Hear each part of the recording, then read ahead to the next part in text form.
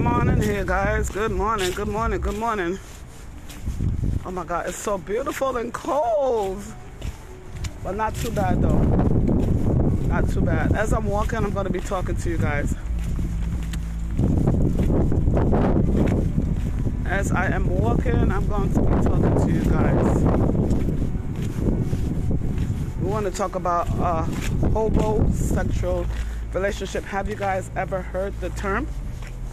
Have you guys ever heard the term hobosexual relationships? Good morning. Happy Sunday. Happy Sunday. You may be having this relationship and you don't even know. You're probably calling it a player, or these people have specific reasons why they're hanging out with you. Okay? We're going to talk about it. This is Rosa from Rosa's Resources, guys. Okay? What about come here to talk to you guys about? I lived it.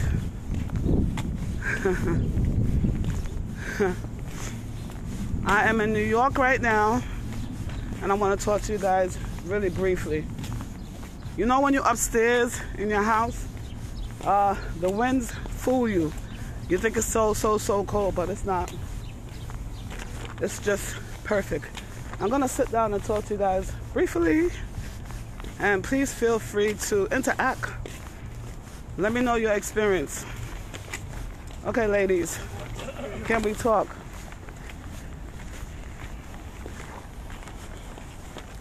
Have you guys ever been with a man or experienced a man or a woman? okay, it doesn't matter.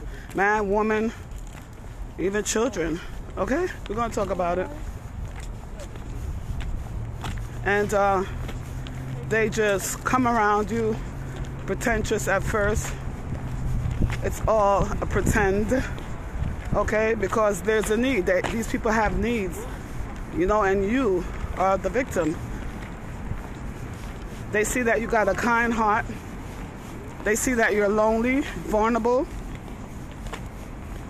If I'm gonna talk to you guys, I'm gonna tell you the truth. Lonely, vulnerable. Sometimes people are desperate desperately lonely, that's not a good space to be, okay? Not a good space to be at all. So, what these people do is they come around, be your best friend, mirror you, and they listen. They, they really examine and listen to your needs. And then they give you everything, everything that you want.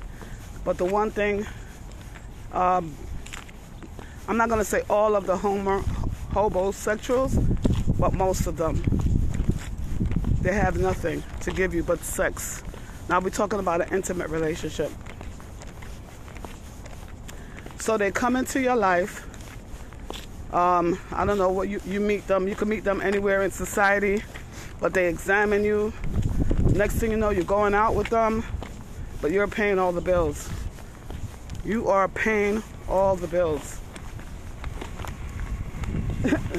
they might take out a dollar every now and then, but you are paying all the bills. Okay? They don't have it. Some of them, like I said, majority of them don't work. I guess they got the hustle mentality. They like to hustle people, okay? Uh, so it might look like this. It, it might look like you invite them into your home. Um, you have to ask them to leave because when night come, them no one got them yard. they just in your house. You can't get them out. It's like you ever they, they come to your house, they make you feel uncomfortable. It's like 11, 12, this is not supposed to happen. It's like 11, 12 o'clock at night you're waiting for them to leave, but for some reason they just harboring, they just there, they're not leaving. So now you gotta say, you know, are you leaving? And then they sometimes give you like a sob story or whatever. You know, maybe you end up having them sleep on your couch, which is very, very, very, very dangerous. Or if they got that charm and fling that charm on, you might let them come in your bedroom, Then they leave the next day, come back calling you, calling you, calling you, calling off your phone. And you think in your head that, oh, this person is interested, but they just love bombing you. They just love bombing you and being so excessive with it. That is not normal. It's not normal, guys, for somebody to excessively call you. They don't give you a breather. That is because they're trying to entrap you in a relationship. Okay, they're trying to trap you up. They're trying to act like, I mean, these people, like, they could get an Oscar winning award because they're coming around like they being so excessive, like they like you. It's like them not work, them not nothing to do. They just ringing down your phone, texting you every minute. It's too much. It's too much. That's too excessive. Next thing you know, they're in your house for a week, in your house for a month. What happens when they're in your house for a month? Now you're gonna have a hard time getting them out, especially if they leave a little piece of clothes there. Because I don't know what state you are, but in New York, after 30 days, it's hard to get these people out. Now you got to do the eviction process, okay? Then they get mail there, like they live there. These people, they come to your house. Uh, they don't buy groceries, but they eat the most, you know? And your empathic self, you don't say nothing. You don't say nothing until they reach to the limit. That's why you got to speak up and be bold. They come, they want they, they, don't want no hamburger and french fry or hot dog. They don't want that. They, they want a they want a real healthy meal. They want a real healthy meal, guys.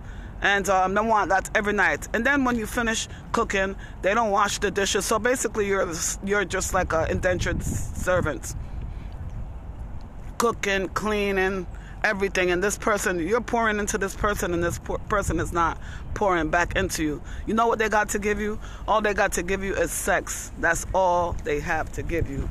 And some people just like get caught up in the sex because of lust you know and they get tricked. They get tricked. The thing about it ladies and i'm talking to the ladies but it happened to men as well. I mean you go into your 95 or your entrepreneur self, you hustling, you doing, you was doing so good. You was on the right path, everything. As soon as this person come around you, you're just going down, down, down, down, down to the ground. Everything around you is going down. Your finances suffering. And let's not talk about if you have kids. This person come in your house, say your kid have an Xbox or whatever that game is that kid got. They want to take over the kid's room. They want to take over like it's their house. Then they start. Uh, then they start. Um, you know, like telling you they don't like your friends. So now you start being isolated, you know? Nobody wants to come around you because this person is just dominating your life, you know? And a lot of um, a lot of these people walk around with a um, what do you call it? Like I don't want to say a book bag, but like a, a backpack on their back because they jump from house to house. Wherever they're comfortable for a little time because after they're not comfortable, they're gonna leave and go to the next victim. That's what they do. That's their career. That's what they do. That's their living. Okay? Hobosexual. They don't care. They just they don't have no goals.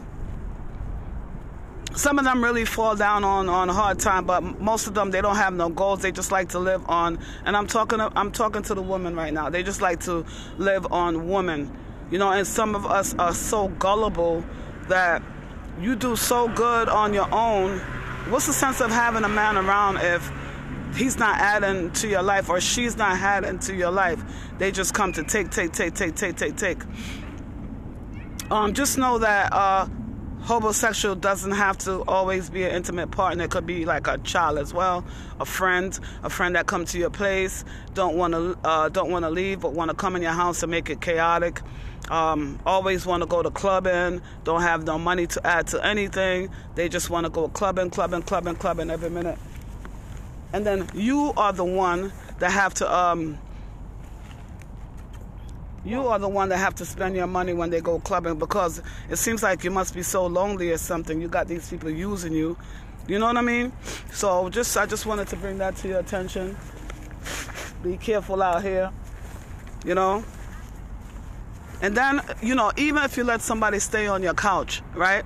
They come, They eat, like I said, they don't wash dishes, they throw the things in the sink, they put the toilet seat up, they got junk in the toilet, they don't even know how to, to use the brush and clean it out. They don't clean up behind themselves. They just I appear stressed them I give you. Since they come in your house, it's peer stress.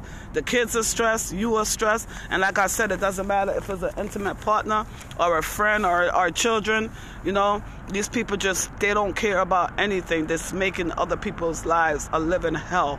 They don't have any goals. They don't even want to go to school. They don't have jobs. They don't they don't know the next week plan. They do not contribute to groceries. They do not. They do not. They do not. They don't even mind sleeping on a park bench Okay, and then if you have a car, they come, they love people with nice things. They come, they drive your car around, and they act like it's uh, your car. And even if you're helping this, these people out and you even give them your car to drive, they driving up with other women or men in your car, acting like it's theirs. They, they, they basically are stealing your identity. That's what it is. I don't know if you guys ever experienced this, but yeah. It's real. It's real out here. People just out for what they could get. Very selfish behavior. Selfish. And then some of them um, want to wear your clothes. They want to take everything. It's like they switch an identity. They they daydreaming. They daydreaming that your life is their life. And then um, when everything is going good, you have this person around you. You're trying to help them because you you're trying to be a good friend or a good parent or whatever it is uh, intimate partner because you think this person really like you and they don't. They can't stand you. They cannot stand your gut. Um, they they they just never leave, never contribute to anything if you're traveling, some people, if they traveling or you want to get a ticket for them, everything, you're just letting those people come around and use you, use it because you're lonely. Just be by yourself because these people definitely don't know how to be by themselves. That's why they always need somebody right there supporting them. And then when you support them, they turn their back on you, they stab you in your back, they betray you, they talk behind your back. They tell people what's going on in your house, and that's another thing. They come in your house, um, you thinking you're helping them out, but them not helping you out. Guess what they doing? They watching every move you're making in your house. Every move. They watching your, you know, every move. They watching how you stock your your money, what time you go to work, what time you come home. They watching you. They are watching everything about you, so they could hurt you, plan up for you. And then when you're not home, some people leave people in their house. When you're not home, they're probably all bringing another person in your house. And if it's your so called friend, when you're not home, they got people in your house having a party. God forbid if you tell them uh, you're traveling and you want them to house it. And you want them to house it. They're having a whole party in your house. People thinking it's their house. Next thing, you know, that's like how people get into dangerous situations. You know what I mean? That's how people get into some dangerous situations out here because they think uh, this friend is your friend, but your friend is your enemy.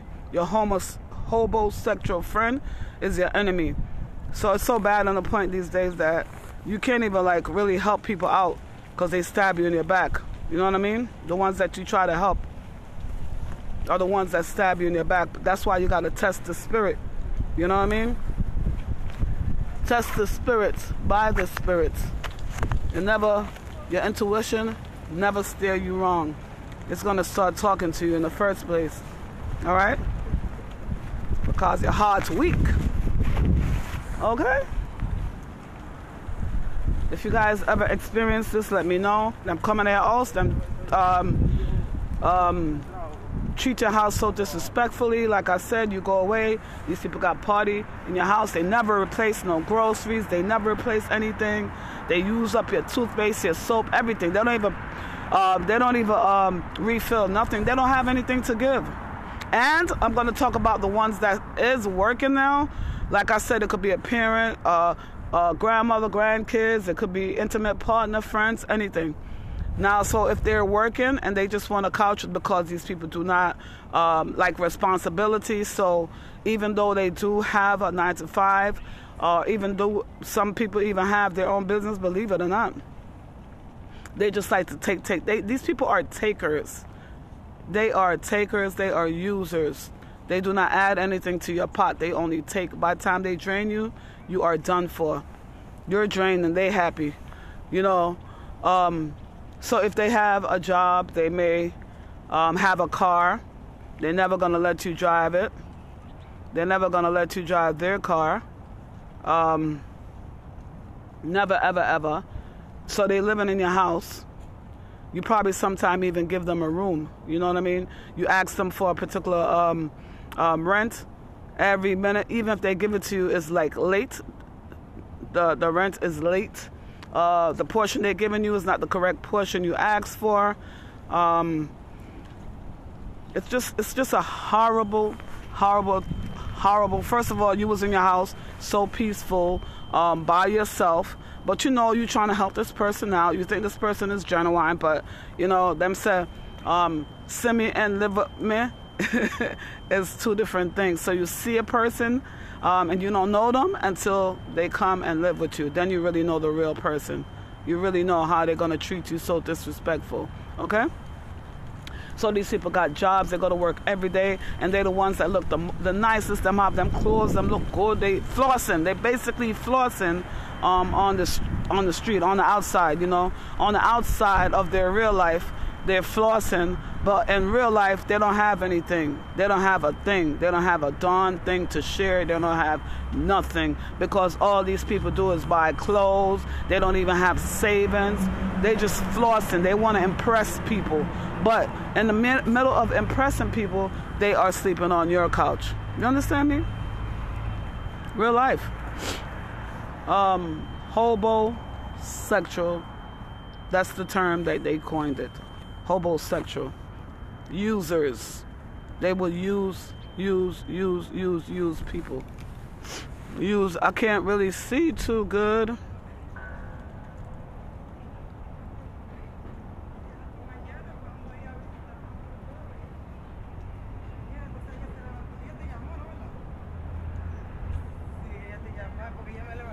Yeah, but do they pay rent?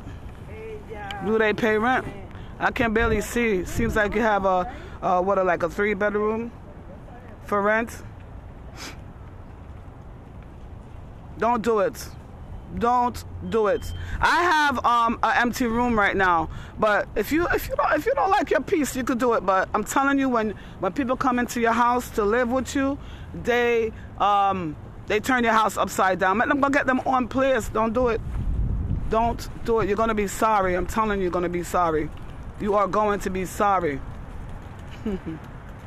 you are going to be sorry. Okay?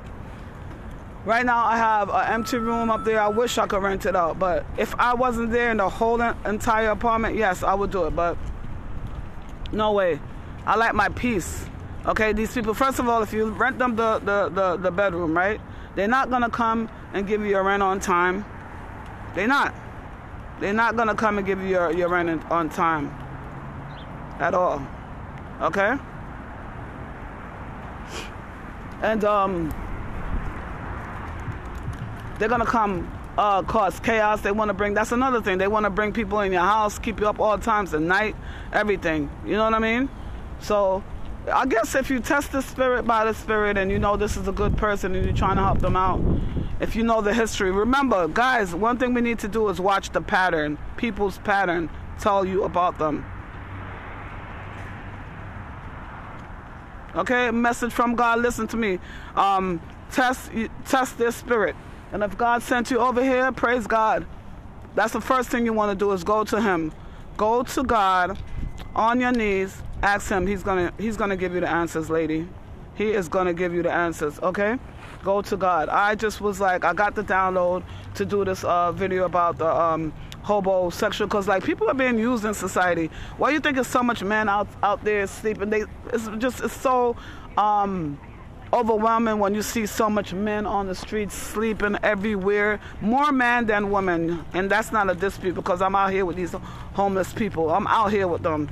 All right? More men more than women. They will sleep on anybody's couch they will come to your house sleep they will act, act nice smile up for a couple weeks, and then you're gonna see the true self come out. You gotta give it time, but you gotta watch people pattern. Don't watch what they say. Watch their pattern. Stand still and listen sometimes, and they're gonna tell them true self. They're gonna tell them true self. I'm telling you. Just watch them sometime because it's, it's gonna be a confusing message if they saying one thing and they doing another. That's why you gotta. Oh no, you got music in my video. Great. Anywho, um, just watch the pattern. Watch people's action. Watch the pattern. Patterns do not lie. Okay? And also test the spirit by the spirit. Period. End of story. Test the spirit by the by the spirit. But yeah, ho- hobo, sexual. Sometimes, you know, you try to help people because you feel sorry for them. You see the potential in them. That's why you just got to let people be. Whoever that person is showing you that they are, don't have the imagination, what you got in your head, what they could be, their potential. No, that person is showing you who they are. That is who they are. It's so loud, and it's uh, it's so so loud, so visually loud as well but we choose to ignore it because we want to put this person on a higher level than they really are. Sometimes the expectation we put on people it's just so much. They don't even have that expectation of themselves, but you do because that's how you want to see the person. Just accept them for who they are. And when they show you who they are, just believe them.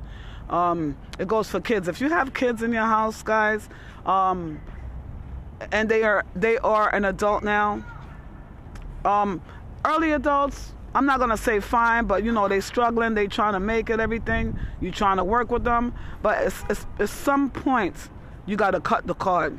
You got to cut the cord. You are not responsible for adults and their action. You are only responsible for yourself. only God can change people. You cannot. So stop trying to change people and let God do His work. Sometimes people got to go to the valley of the shadow of death Everybody have their own walk. They have to walk. That's their path. That's their path. Sometimes we try to bring people on on the path, but sometimes they're not supposed to be on this destiny with you. They're not a part of your destiny. Everybody got different different paths. You know what I'm saying? Everybody have different paths. So you really just you really really really just have to let people be who they are. Okay? Oh wow, sorry to hear to hear about that. Yep. No stress, honey. No stress. I want to go down. I can't even see. Ooh, God. It's really bad. I don't have my glasses on. I'm sorry to hear about your husband, did he just pass? Oh, your husband just passed away. I'm sorry to hear about that, my love. It's a hard journey, but you know what? Um, this is gonna sound crazy, but your husband passed away. I'm sorry to hear about that. My husband is still on earth, but I'm mourning him. I'm mourning. I'm just letting go off of that now. So, you know, your husband died, go through the mourning process, go through the grief process, go through it, and don't let nobody tell you about your healing process. My husband is still on earth, and I am mourning him because there was no closure. But I'm getting through it. I'm good, you know? I'm in the acceptance part of my journey right now. Okay? And then another thing, all these men got to offer is I'm not even dating. It's been about a year now, and um, the guys that I meet, all they talk about is sex. It's just so um, superficial. It's so dumb to me. And it's just like, that's all you got to offer? You're a grown man and that's all you got to offer? Sex? It's just so whack. And that's another thing. They come in your house and especially like the whole, whole whole hobosexual guys, that's all they have to offer is their physical body. They can't pray for you. They can't support you. They cannot be loyal to you. They're gonna come in your house and cause a lot of confusion. They probably even have like trying to sleep with you, your friend, tree, some all kind of craziness going on. You understand me? Drinking, alcohol, smoking, all kind of confusion. You, especially if you got kids in the house. It's just a bad space to be, guys. All right, so um, I'm gonna go now because I don't want this video to be too long, but it's like really, really, really rough out here. I'm to encourage my ladies. Um, I'm definitely not one of those ladies that say um, I don't need a man. I wouldn't. It would be nice to have a man, but if it's going to be the only thing that they have to offer is sex and stress, then no, thank you. I want to live stress free. We know we're going to have stress in life. Look what's going on with Corona, but with God, honey, the stress is a little easier. So why are you going to have a man or a woman come and appear stress, appear fighting, appear argument, appear confusion? God do not work in confusion. Okay? My love, take one day at a time and heal yourself. All right? It's okay. So a lot of people are in relationships and they stressed out. Relationships are good, but if it's coming from uh, good soil, basically. If it's coming from good soil, beautiful. But if not, people them just stressed. They sleeping with your friends, your mother, your father. They sleeping with everybody, stressing you out. Don't want to help you pay bills. Don't want to do nothing. You know, so be stress free, develop yourself, uh, get that course, get that education that you want. Uh, travel, go to that place that you want to go to, purchase that car that you want to purchase, get that relationship with God. That's another thing, guys. When these hobosexual people, narcissistic people come into your life, you start uh, staring away from God. Um, and you know, you need God in the center of your life if you want your life to work right okay? Because when he's not in the center, everything go chaotic. All right, this walk with me is just a year old, and I'm telling you, this is the best life. This is the richest life I ever lived in my whole entire life. I just want to praise God and thank God. And anybody going through it, if you have somebody in your house right now, I don't care if it's a kid, a lover, a friend, and if they are not um, um, coming up to your level, just get rid of them. You have to. Don't let people use you. 2022. Remember, 2022 is coming up, guys. You do not, and I repeat, you do not want to carry over into another year sitting down on the sideline in your own house, in your own life, and letting people just treat you any way they want to treat you. Stand up, get up, and speak up. All right? If you're in your house and you're paying all the bills yourself, and you're still being stressed out because these people, all they want to do is come and take, take, take, take, take, take, take, take, take, take, take, take. You could save so much more money. You could just uh, build up so much more by yourself. Why not do it? It's okay to be lonely. You're never lonely because God is with you. Take that trip you want to take. I enjoy my own best company. You know what I'm saying? You go places, you meet people, and then you go home in peace. You can't buy peace, honey. If they could put it in a bottle, a lot of people are out here. They got money. They got so much material things, but they don't have love, and they don't have peace, and they don't have joy, and that's the best. Okay, that's the best thing you could have for yourself. That's the best thing you could do for yourself. All right. So, guys, I pray for you guys. I pray that that situation work out. Okay, get that person off your couch. Get that person out your house put in that 30 day notice, put in that uh, eviction notice. Get that person out of your life, out of your heart. Okay? I got to go. One thing, Indian, why you walk with your head down, sir? No, no, no. I'm trying to avoid all these fucking dog shits out here, man. The other day I Oh, really? I walk over there from the building over there, all of a sudden I fucking look down if you see the fucking dump yeah. I go right by the garbage and I throw it away in my house with the socks.